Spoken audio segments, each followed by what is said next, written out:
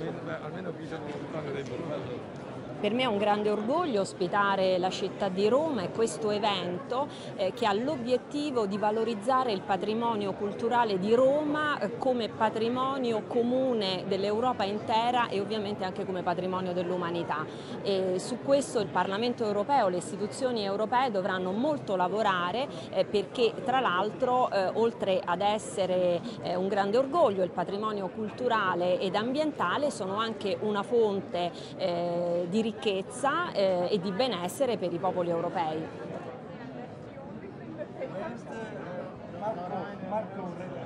Siamo qua e siamo molto felici di essere qua perché con noi a rappresentare le bellezze di Roma c'è un ambasciatore importante, Andrea Bocelli.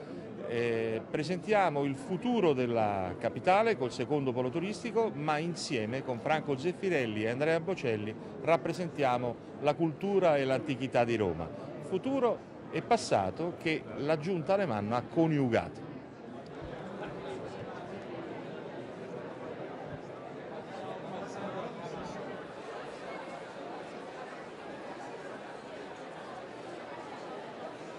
Di Roma e la Regione Lazio che hanno voluto organizzare questo evento, Roma nel cuore del futuro dell'Europa. Eh, voglio ringraziare tutti, non potrò fare l'elenco di tutti i partecipanti eh, illustri. Per noi valorizzare la città di Roma significa valorizzare l'intera Europa.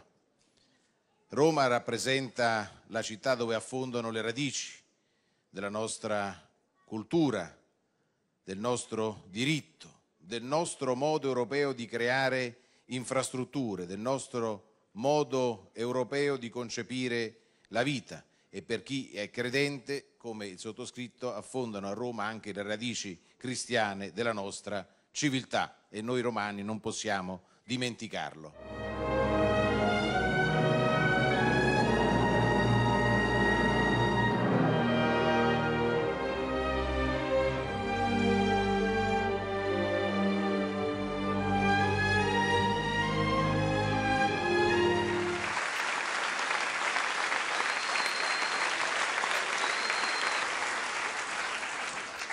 È un grande piacere, un grande onore essere qui, una grande emozione.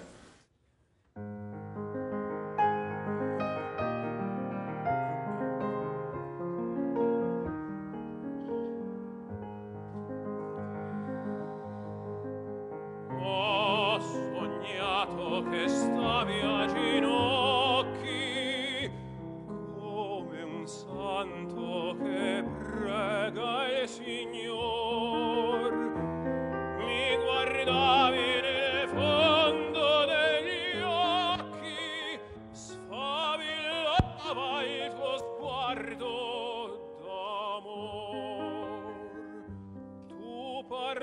bien.